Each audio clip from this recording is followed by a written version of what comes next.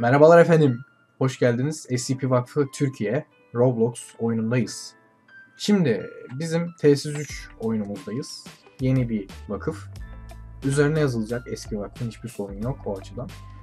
Ee, izninizle size bu oyunu tanıtacağız. Yeni gelen özelliklerden falan bahsedeceğiz. Ee, sizi biraz heveslendirmeye çalışacağız. Yeni gelenler için de bir guide olmuş, oluşturmuş olacağız. Rehber yani. Ee, o zaman başlayalım. Herkesi bir çıkartalım şöyle yavaştan. Tamamdır, direktör geldi.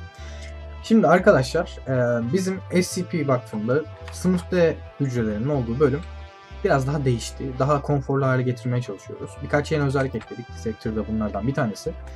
Şimdi birkaç kişi de eşya vardır diye düşünüyorum. Çay bunlardan biri mi? Onu hiçbir fikrim yok. Çay algılıyor mu? Şimdi kişiye basıyoruz. Evet. Üzerinde çay olması bile yetiyor sanırım. Veya kart. Kart var şu an. Tamam.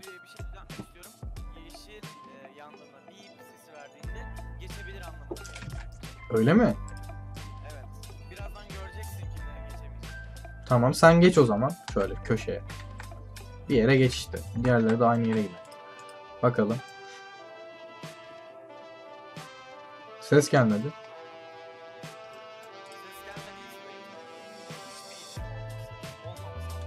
Ha tamam geç kardeşim geç buyur. Buyur kardeşim. Sıra sende. Bakalım neyin var. Ge- geç buyur. Buyur. Gel gel kardeşim. Geç buyur. Hiçbir sorun yok. Sende ne var bakalım. İyi geç hadi bakalım. İşte diyorum adamda seviye 3 kart vardı. Hop hop hop hop.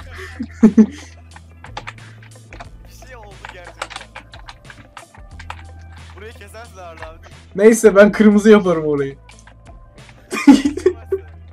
Tamam sen, sen, sen hayırdır kardeşim bir dakika silah milah çektin. Ne oluyor? Tamam tamam şimdi e, bir sınıf D'ye ihtiyacım var. Şöyle rastgele seçiyorum yenilerden birini seçeyim 96 kahve gelsin. Onu şöyle şuraya doğru bir alalım. Herkes gelebilir ama kimse zırh giymesin. 96 şuradan bir zırh giy bakalım. Benim önümde giy ama biraz dur. Hangisini giyeceğim onu mu? Tamam. Mavili olan. Giy bakalım. Bakın böyle karakterimiz güzel bir animasyonla kıyafeti çok güzel bir şekilde giyiyor. Ee, evet böyle gözlük mözlük muhabbetleri falan var. Bu bu şekilde. Herkes giymesin zırh da sorun çıkmasın. İşte silahları falan buradan alıyoruz. Mesela silah al bir bakalım. Neredesin?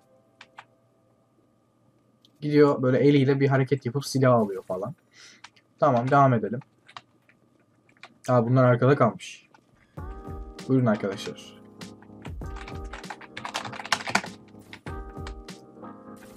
Hop hop ateş etmeyin. Ben şeyi savunuyorum bu arada. Asansöre bu kadar kişinin aynı anda binmesini savunuyorum. Hmm. O yüzden o yüzden hep birlikte bineceğiz. Ya buraya bir merdiven hoş olur bu arada. Niye gelmiyor lan bu? Bir kat aşağı inecek. Yarım saatte geldi. Neyse doluşun arkadaşlar. Gir gir gir gir gir. Bas. Basın düğmeye. Ya birçok yerde animasyon var şu an. Evet, kapımız kapanıyor. Hop, oha. Ne oluyor oğlum? Aşağı düşen var mı? ben sıkıştım burada. Bir beni çekersiniz. Heh aynen eyvallah. Tamam bunları falan çözüm buluruz. Oyun zaten açık değil. Şu an tamamıyla sınıf e, S4 artı var. E, şu ara odaları göstermek istiyorum. Benim çok hoşuma gitti. Ya bir personel olduğunuzu düşünün. Hatta şöyle yapalım.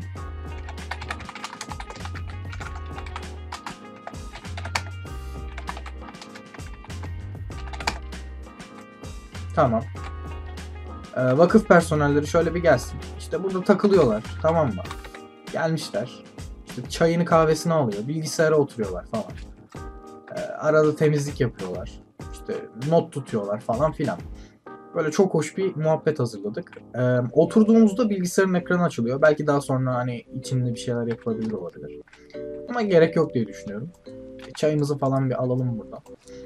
Böyle bir tablomuz var. Ee, test gereksinimleri diye. Bunun ismi değişebilir. Şöyle yani şeyleri gösteriyor. Kaç sınıfta olduğu, kaç bilimsel olduğu falan. Buradan anlayabiliyoruz.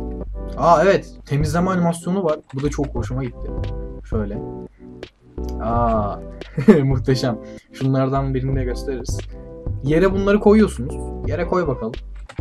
Böyle kalıyor bu. Temizledikten sonra kaygan zemin falan. Bunu böyle istediğimiz zaman tutuyoruz. Elimizde böyle götürüyoruz.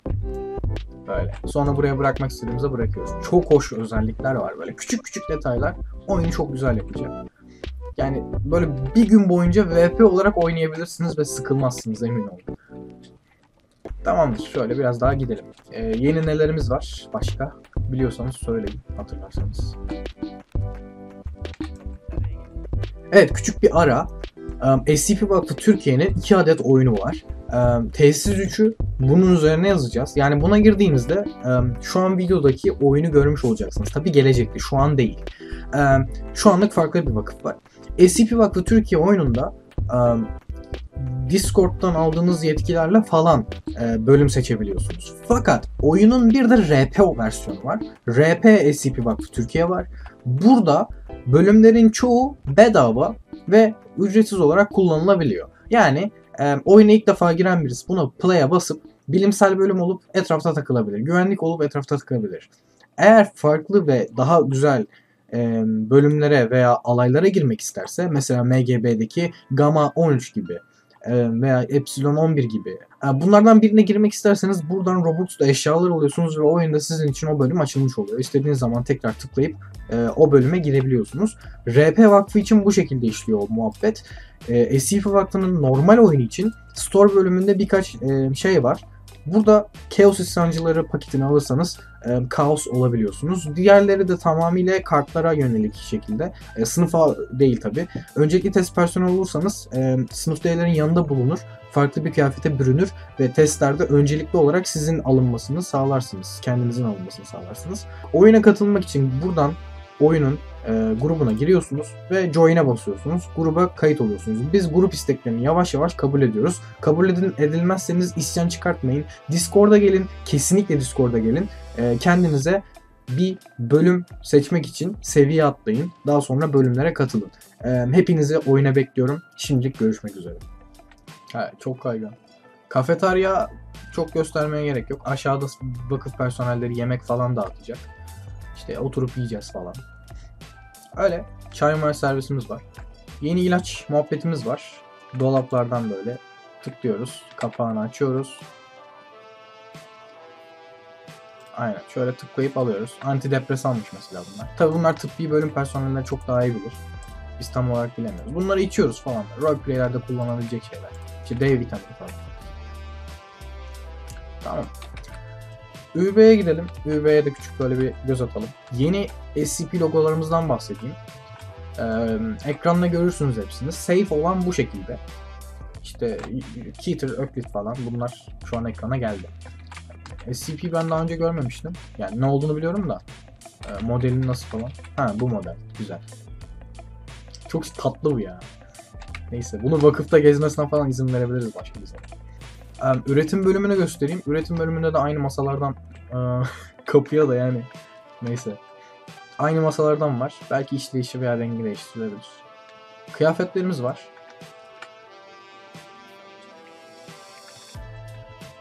Bu bayağı güzel bir özellik. İki, şu an iki tane düğmemiz var. Sağlık ürünleri ve askeri ürünler. Bunları tıklayarak e, kutuların çıkmasını sağlıyoruz. Kutuları taşıyabiliyoruz. Yere koyabiliyoruz. Koyun bakalım gösterin. Backspace'e basıp atıyoruz yere. Öyle. Güzel yani. RP'lerde kullanışlı olacak. Şöyle elime alayım götüreyim hatta. Yani evet. Ha evet onu görmemiştim. Ee, burada bir ayar var. Üniforması olmayan burada çalışamıyor.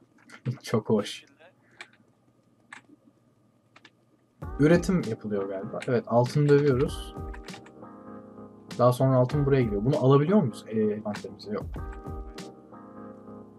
Buraya geldiğinde evet evet yanıyor burada. Bakır bir. Çok güzel ya. Böyle haftalık hedefler falan konulabilir.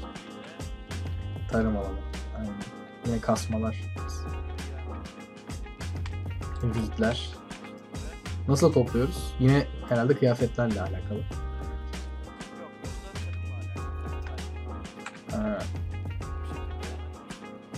Çok güzel ya. Otomatik büyüyor. Daha sonra sulama ihtiyacı falan. Aynen evet. MVT'ye falan da bir şeyler yaparız bir ara. Şu anlık çok bir şey yok.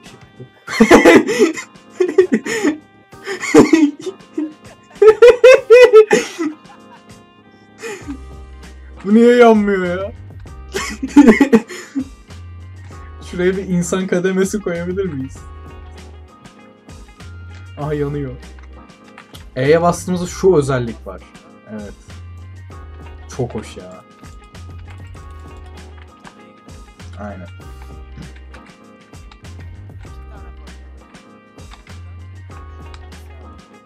Evet. Şeyleri aldınız mı ya? Ha bak kart var mesela. Bir sınıftaya gelsin kart alsın şuradan. Vakıf personeli de olur. Şuradaki karta tıklasın. Şöyle tıklamalı. Tamam. Kartı alıyor, envanterine geliyor. Belli bir süre sonra tekrar çıkıyor kart. Rastgele bir sürede.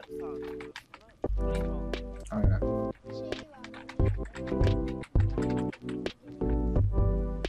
Hmm, evet öyle küçük küçük eşyalar var böyle alabileceğimiz. Tekrar refresh edebilecek. Hmm, evet. Bunu biliyorsunuz zaten. Kendi tasarımımız bu. Öyle. Niteliği aynı galiba değil mi? Yok. O olmuyordur. Belki daha sonra. Burada parmak okuyucumuz var. Tıklayıp açıyoruz. Sınıf D'ler falan açamıyor. Merak etmeyin. O kadar basit değil. Tamam. Şöyle bir gösterelim. Hop zombi oldu.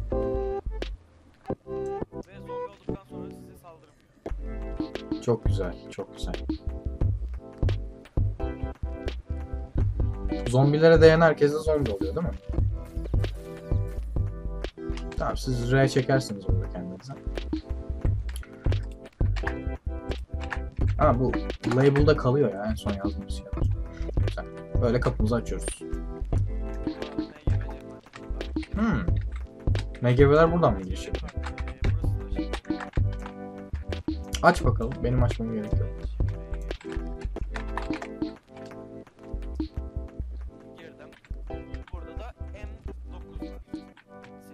Bir bakalım nasılmış.